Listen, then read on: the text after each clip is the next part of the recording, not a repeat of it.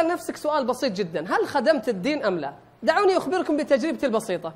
ذهبت إلى قرقيزيا قرقستان عشر ألاف كيلو. درجة الحرارة 43 تحت الصفر. عشر ألاف كيلو جئتها بالطائرة.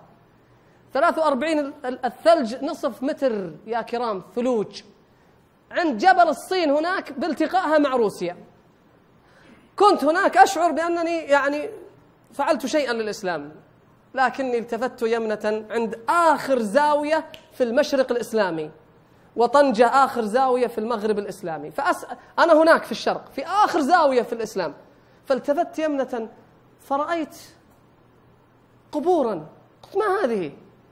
قالوا لي هذه قبور الصحابة. الصحابة. جاءوا إلى تلك الأمصار يا كرام.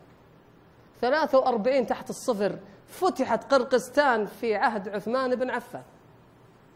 وأنا أتيت إليها بطائرة أركب في الدرجة الأولى. وأقول أنا خدمت الإسلام.